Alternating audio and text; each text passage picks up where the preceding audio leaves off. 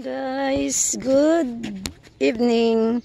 Andito tayo guys sa labas. Ayan. Nag-bloom na yung hydrogenia natin guys. Ayan, may umakyat sa fence ng kapitbahay nako. Ayan, nag-bloom na siya guys. Ayan yung pink. At, ayan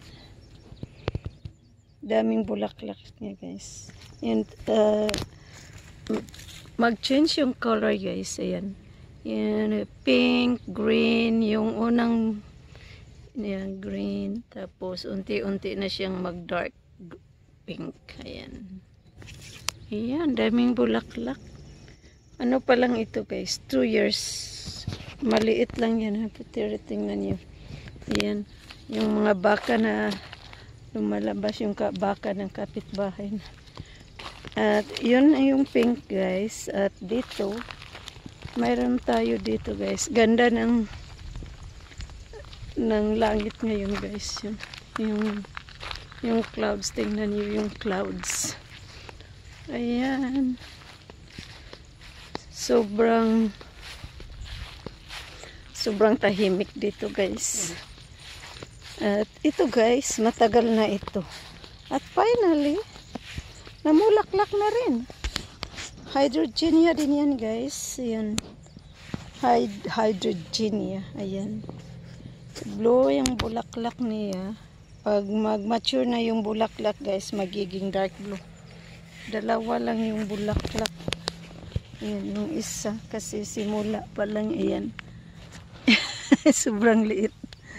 Sana lumaki. Sana dumami sila, di? Ganda kaya niya.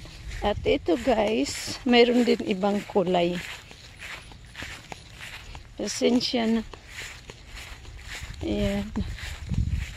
Sobrang init dito kaya yung mga tanim may basura pa. Ayan. Ito guys, ganun din hydrogenia. At yung kulay niya green. Ayan. Ayan siya. Ayan, ano, ilan ang kulay na.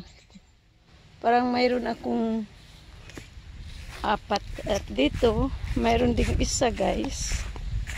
Ayan. Ayan, ito yung view ng garden ko guys. Sa likod tayo. Ngayon, nasa likod. Ayan. Ayan yung lilies natin. Stargazer lilies ayan dito. Dito tayo guys. Meron dito. Nag start na rin siya. First yan nagbulaklak. Isa pa lang siya. Ayan. Purple at white. Ayan. Sobrang ganda niya ano? Ayan. Yung manok ko guys oh. Kinay ka yung molts ko. Ayan. Yung asawa ko galit na galit sa manok pa ganito. Kasi yung may bago siyang tinanim. Ayan, kinaykay. At ito, maganda ito guys. Perennial ito, babalik, babalik. Taon-taon. At mamulaklak siya guys, all the way na hanggang mag-fall season. Yan ang maganda nito. Nagdidilig ako kanina, sobrang dry na rin ng lupa. Ayan, ito guys. Oh lilies.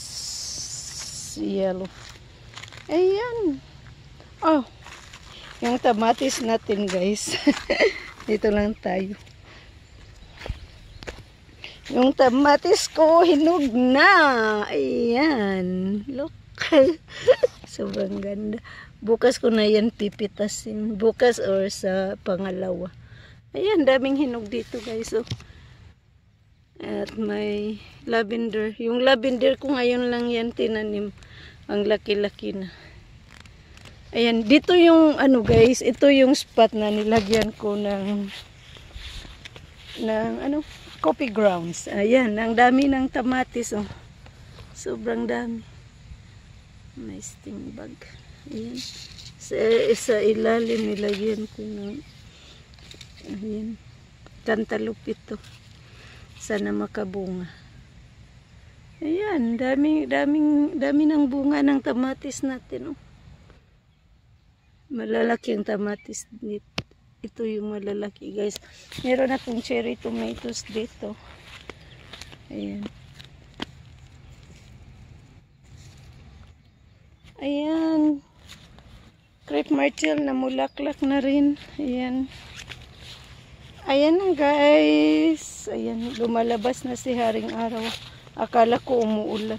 Hindi pala. Ayan dito marami ito guys. Oh.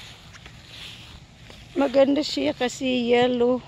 Very bright yung color. Yeah, ayan.